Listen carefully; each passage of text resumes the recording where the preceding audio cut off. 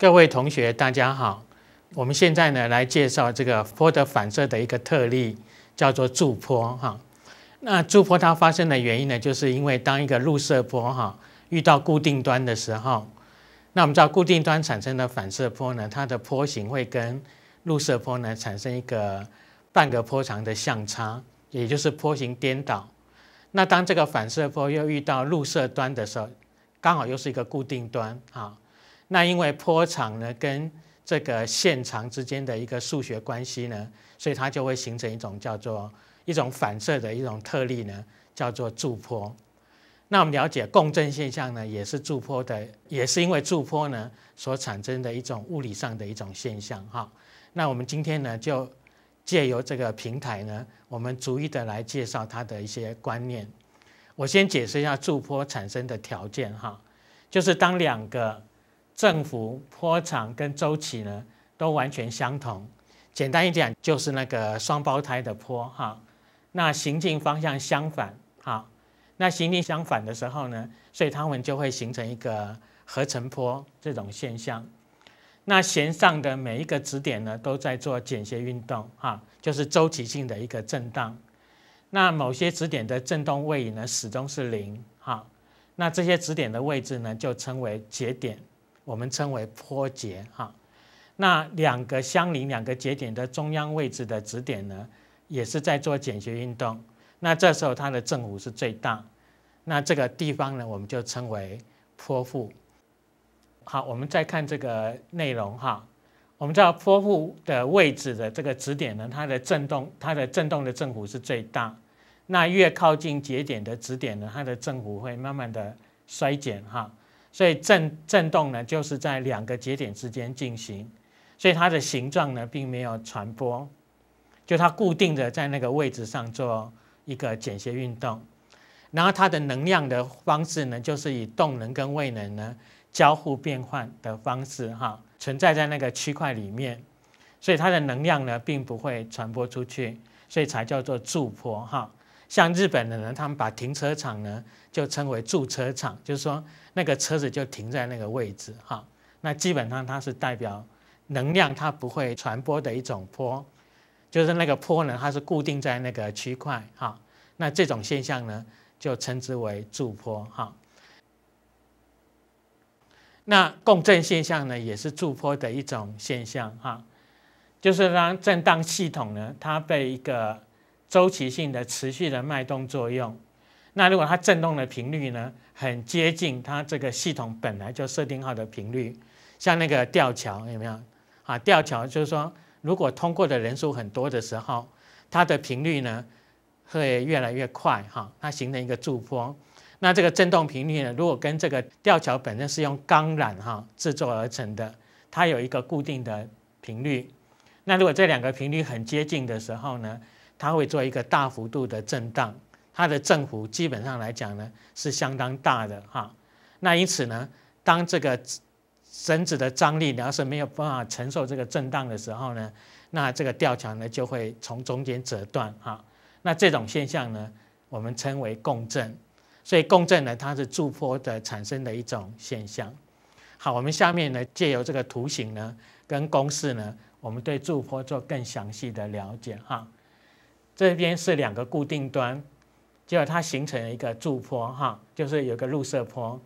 如果呢这个半个波长呢刚好是等于线的长度哈，弦的长度如果是 l，啊，它形如果形成一个驻波的时候，就它们的数学关系就是说，如果线的长度刚好等于半个波长的整数倍，这个 n 呢刚好就是比如说 n 如果等一的时候，代表这个线长呢哈，弦的长度呢。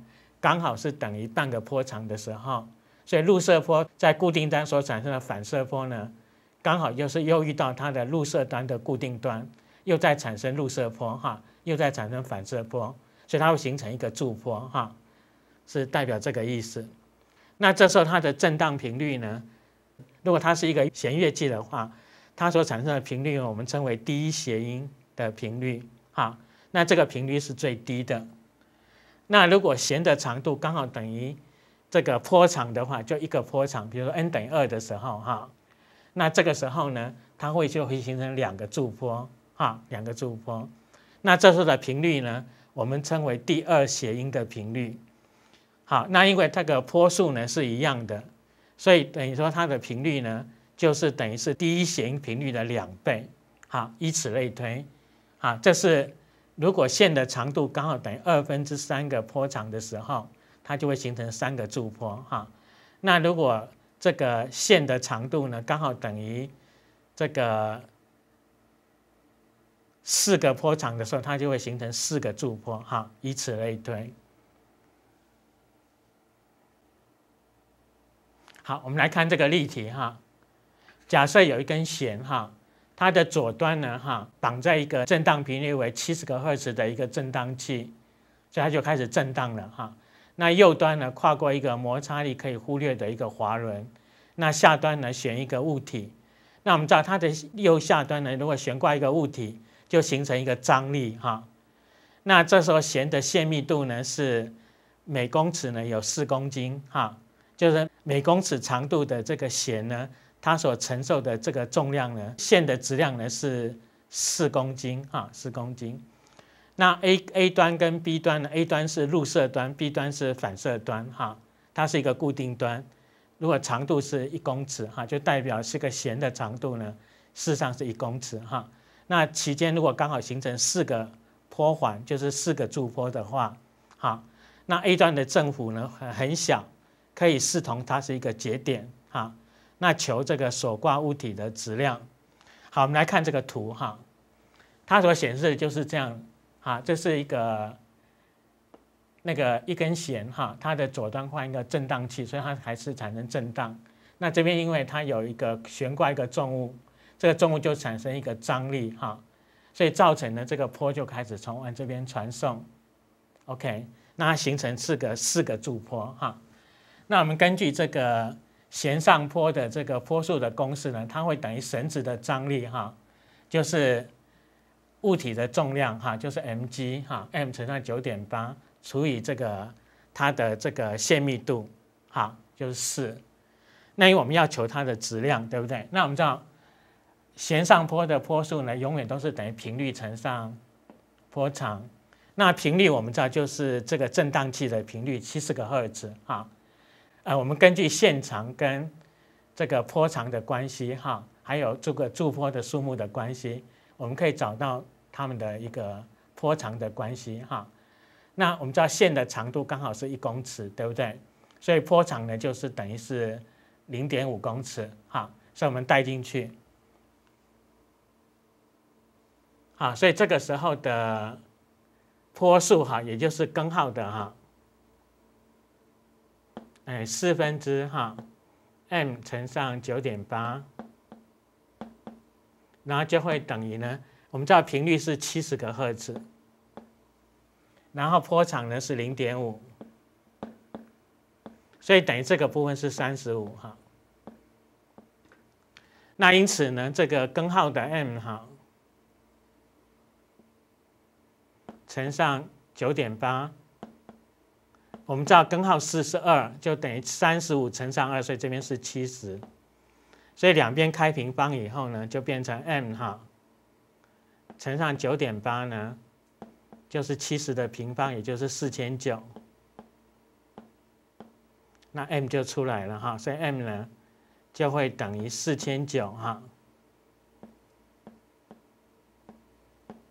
哎，除上九点八。单位呢是公斤哈，单位是公斤，所以挂的重物呢事实上是相当大的。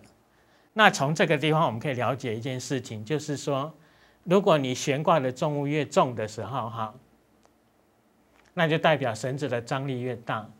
那绳子的张力越大的话，它的传播的速度当然越快哈。那因为速度呢跟频率还有波长是有关系的，所以这个越大的时候哈。呃，我们看频率，频率基本上是固定的，好，就会影响到波长。那波长呢，就会影响到这个这个驻坡的数目，所以它们之间呢，基本上就出现这样的一个数学关系式。好，好，以上呢是有关这个驻坡的一个介绍，我们就介绍到这里。